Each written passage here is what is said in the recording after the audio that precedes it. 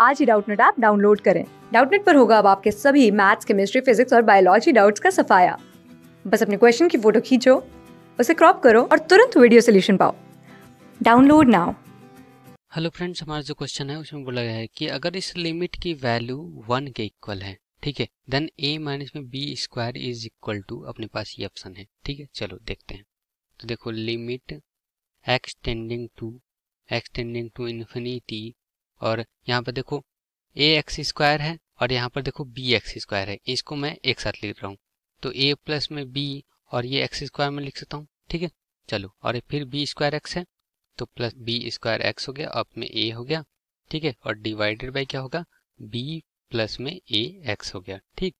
अब देखो, जब भी ऐसे इन्फिनिटी वाला लिमिट होता है तो हम क्या करते हैं? इन सभी में से मैक्सिमम जो पावर है, उसको हम कॉमन करते हैं, ठीक है? और इसमें से भी मैक्सिमम पावर जो है, उसको कॉमन करते हैं। ठीक है, उसके बाद लिमिट रख देते हैं। ठीक है तो क्या होता है कि वन बाई एक्स जो होता है ना, इस टाइप का अगर कुछ भी फॉर्म होगा एक्स के पावर में एन होगा तो ये हो जाता है ज़ीरो के इक्वल ठीक है, और बाकी जो कॉन्स्टेंट बचता है, वो रह जाता है तो हमारा लिमिट इवेल्युएट हो जाता है।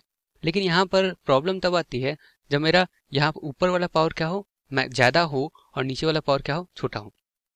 ठीक है तो ज़्यादा होगा इसका मतलब एक तो ऊपर वाला बच ही जाएगा है कि नहीं? यहीं पर देख लो, अगर मैं एक्स स्क्वायर कॉमन कर लेता हूँ। एक्स स्क्वायर कॉमन कर लिया तो ए प्लस में बी हो जाएगा और प्लस में यहाँ पर हो जाएगा B square divided by X हो जाएगा और प्लस में I divided by A divided by क्या हो जाएगा? एक्स स्क्वायर हो जाएगा और डिवाइडेड बाई यहाँ से मैक्सिमम पावर क्या है? एक्स है। तो एक्स कॉमन कर सकते हैं हम। तो ये हो जाएगा बी बाई एक्स और प्लस में कितना हो जाएगा? ए हो जाएगा। तो ये काटेंगे। तो देखो, यहाँ पर एक्स एक बच गया है। तो अब इन्फिनिटी डालेंगे तो इसकी वैल्यू कितना आएगी? इन्फिनिटी आएगी ना। लेकिन यहाँ पर देखो क्या गिवन है। वन गिवन है। इसका मतलब कि ये वाला टर्म ही नहीं होना चाहिए। एक्स स्क्वायर का टर्म नहीं होना चाहिए। ठीक है? इस वजह से A plus B is equal to क्या हो जाएगा? ज़ीरो हो जाएगा, क्योंकि इसका टर्म नहीं होना चाहिए।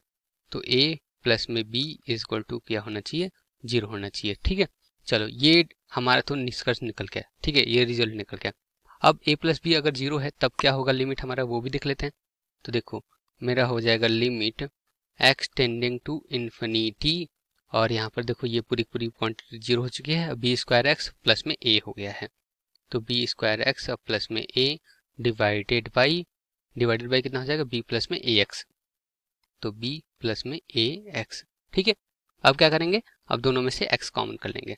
तो एक्स कॉमन करेंगे तो कितना हो जाएगा? यहाँ पर बी स्क्वायर और प्लस में ए बाई एक्स हो जाएगा। ठीक है? और डिवाइडेड बाई यहाँ से एक्स कॉमन करेंगे तो कितना हो जाएगा? ये बी बाई एक्स हो जाएगा और प्लस में ए हो जाएगा। ठीक है?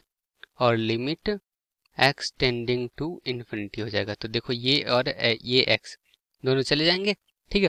अब एक्स टेंडिंग टू इन्फिनिटी मैं रख दूँगा तो यहाँ देखो वन बाई एक्स है ना, ज़ीरो, ये वन बाई एक्स है ना, ज़ीरो, ठीक है? बचेगा क्या? B square divided by A बचेगा, ठीक है? तो ये लिमिट की वैल्यू आ गई है B square divided by A. अब ये हमको गिवन है पहले ही से कि ये वन के इक्वल है। इसका मतलब B square divided by A is equal to कितना होगा? वन होगा। इसका मतलब B square is equal to कितना हो जाएगा? ए के इक्वल हो जाएगा। ठीक है?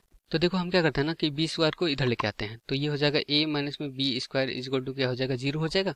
है कि नहीं? और हमसे पूछा क्या क्या था?